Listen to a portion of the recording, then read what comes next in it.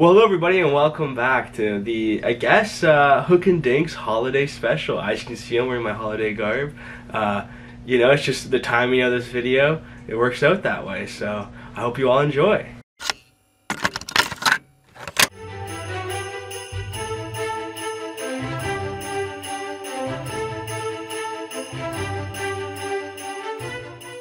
So recently I was able to do some Christmas shopping, and that led me over the border into America.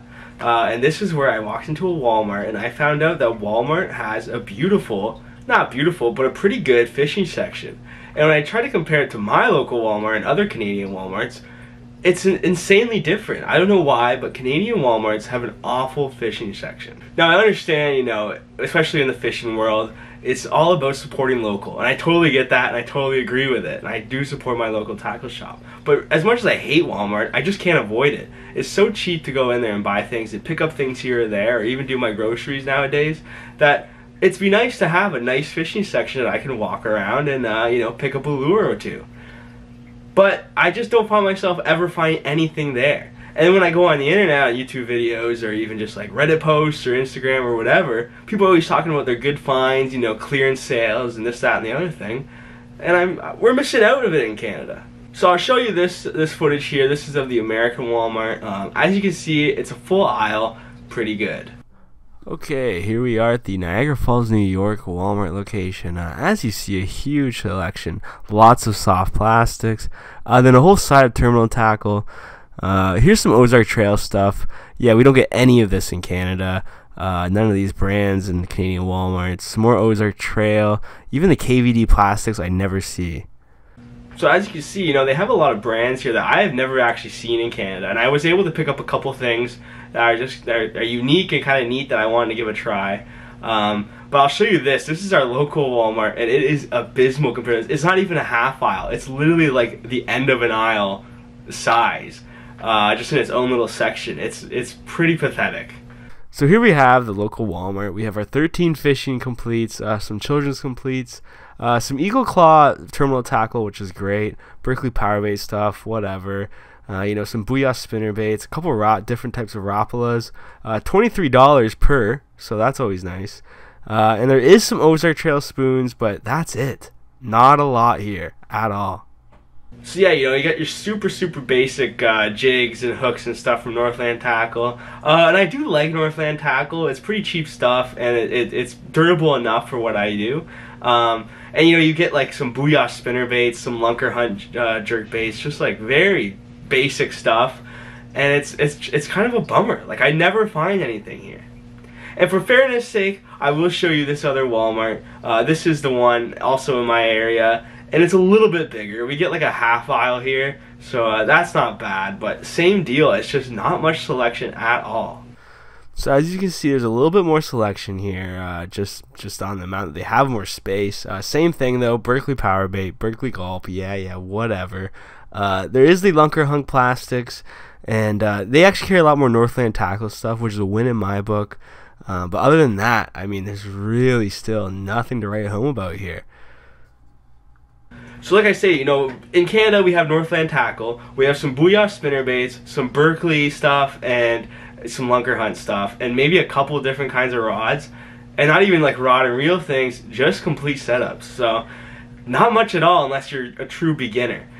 Whereas, you know, if I go to the States, I'll find so much of the Ozark Trail, which is Walmart's brand, as well as a whole bunch of other different kinds of, uh, you know, brands of lures. When I understand, you know, there's probably a lot that doesn't get sold in Canada, just never really comes to Canada. But even the Ozark Trail stuff, I mean, I don't know, is there tariffs and fees on fishing supplies that makes it hard for them to be sold in Canada? Why is Walmart not just stocking their own brand here at the very least? And not that Ozark Trail has a track record of being a very durable quality baits, but it's nice to be able to go and pick up something cheap from time to time. So that was probably a positive for uh, you know the local retailers that Walmart doesn't have a huge presence in the Canadian fishing market, but it would be nice for me and other anglers that are you know balling on a budget here to be able to pick up our basics at a cheaper price. You know, right now all we really have is Canadian Tire, Cabela's or Bass Pro, and our local shops. And our local shops are great. You know, I do pop into Bass Pro quite often, and even Canadian Tire could be pretty decent. It'd be nice to just have another little uh, another guy in the bunch, right? Either way, I picked up some stuff both at the American Walmart and at uh, my local Walmart. However, I totally lost the receipts for everything. I don't remember what I bought where, except for a couple things. Uh, but I'll show you those now. So to start off, I'll show you these uh, curly tail worms I was able to pick up. Um, not bad, you know, just a motor oil color, very basic. Like I say, what's cool about the Walmart in America is you can find really dirt cheap, super basic lures. Uh, and you know, these are the Luck Strike mo motor oil ribbon tail worm. Uh, yeah, not much to say here, but I don't have a curly tail worm, especially not in this size, so it'll be interesting to throw come summertime for those largemouth bass. Another really basic, dirt cheap, kind of, you know, old style lure. Literally just a little plastic frog here on a tiny hook. Uh, they give you the hook and frog and everything, and I don't know how this rigs up, but it should be interesting. Uh, you know, it was like 90 cents for this. 90 cents USD, so like maybe like a dollar, what, a dollar 15 Canadian. Not a bad pickup, I don't think. We'll see how it works. Maybe catch a few bluegill on it. I mean, I don't know. It's just a, it was a fun purchase. It'll be fun to throw this, I think. I'm also on the hunt for some 1 8 ounce jigs, so I picked up these goggle eye uh, rattling jigs from Callan's. Callan's Bait Company, another lure company I rarely see in Canada. Uh, the only other time I've seen it was actually at a dollar store, and I have a video up of me showing off uh, what I got on that day. Uh, and that worked out pretty good. You know, it seems like a pretty high quality lure company, so I picked up these. Why not give them a try? This here is the Strike King Rocket Shad. Uh, this is neat too. You know, kind of like a little finessey spinner bait. Uh, you know, almost uh, beetle beetle spin kind of bait. Uh, and this one's really weird. It looks like it, it, I thought it had a treble hook on it, but now that I'm looking at it, it's actually just a, a dual hook almost. So uh, that should be interesting to throw. I don't know, just a little pickup. I've been looking for these nice finesse kind of spinner baits for a while now, so I figured I'd try that one. And then when I made it back over the border to Canada, I did find these Northland Tackle uh, metallic jigs here. These are the 1 8 ounce same kind of deal. I was looking for 1 8 ounce jigs. I've had good luck with these, especially with the black donkey tail. I don't know why, but there's one river where I seem to catch a mass amount of smallies, and they love it with the metallic jig with a black donkey tail specifically, and I burn through them there because I'm always getting snagged up, so I had to pick up another set just for the next year. This purchase here is a little bit of a different one. I don't know why I bought these, I'm looking back at it now. This is the Northland Tackle Nature Jig. It's a bismuth tin alloy.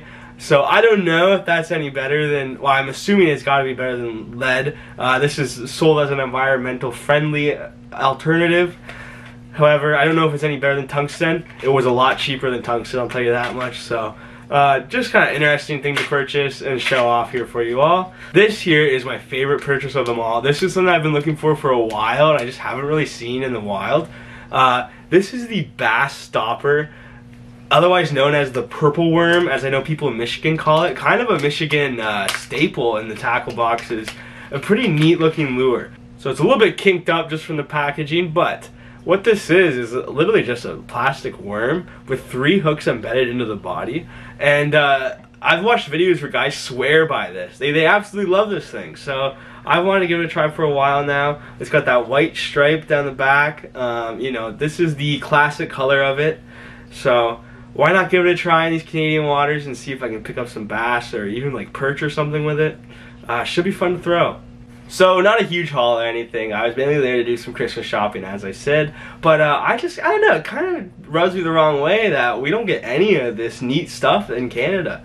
Uh, it is what it is, I guess. You know, unfortunately, I was really looking for an Academy sports store or even like a Dick's Sporting Goods uh, and see what they had in the fishing section. You know, try places I can't go in Canada, obviously, but you know, this was all right. I found some cool, neat little things, uh, and I enjoyed my time over in the American Walmart's fishing section. So please, if you live in wherever you live, let me know what your Walmart's like, or let me know what uh, what what options you have. I know a lot of people, just even a few hours north of where I am in Ontario, you get like one tackle shop and a Canadian Tire, and that's it in your whole area. So it could be tough out there for us, uh, but you know you make do, I guess.